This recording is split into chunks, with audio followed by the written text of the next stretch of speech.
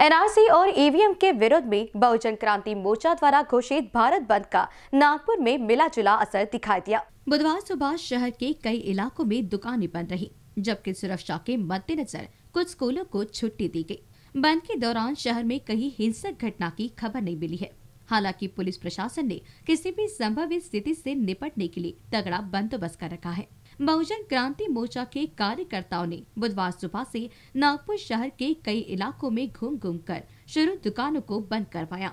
दोपहर होते होते शहर के इंदौरा, जरीपटका, कमाल चौक, मोमिनपुरा, इतवारी गांधी बाग हसन बाग जैसे इलाकों में बंद का खासा असर दिखाई दिया। इन इलाकों में दुकानें आदि बंद रही, जबकि पर्डी में कुछ दुकानें खुली रही तथा कुछ बंद रखी गई तो कई जगह पेट्रोल पंप भी बंद रखे गए। जिस कारण लोगों को काफ़ी दिक्कतों का सामना करना पड़ रहा है। स्विगी जोमेटो जैसे होम डिलीवरी करने वालों को पेट्रोल पंप बंद होने से किसी चीज़ की होम डिलीवरी करनी हो तो काफ़ी दिक्कतें आई है।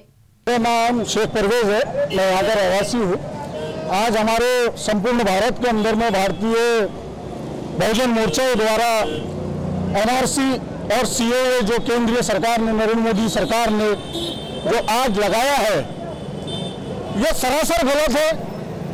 जिसका हम आज निषेध कर रहे हैं विरोध कर रहे हैं इसी के बहुजन अखिल भारतीय बहुजन मोर्चा के इसमें हमने आज भारत बंद का आह्वान किया है इसीलिए हम इसका विरोध कर रहे हैं। कितने लोग प्रतिशत दे रहे हैं? कुछ जगह पर व्यापारी दिखाई दे रहे हैं देखिए हमारा पूरा इतना संपूर्ण क्षेत्र है यहाँ का पॉपुलेशन नियर अबाउट तीस से पैंतीस हज़ार दुकानदार है पूरे पूरे परिषद में। उन्होंने सभी ने बंद किया सभी समाज के लोग इसके अंदर में हमको वो दे रहे, साथ दे रहे कि भाई ये जो कानून नरेंद्र मोदी हम पे ज़बरदस्ती थोपड़ी है, इसका हम भी खुलेआम खुला विरोध कर रहे हैं।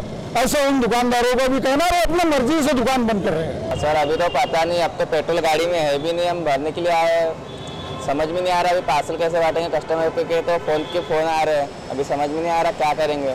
पेट्रोल बंद होने की वजह से अभी पाँच छः पेट्रोल घूम गया मैं। अभी तो मेरा छठवा पेट्रोल पंप है, जो भी बंद है।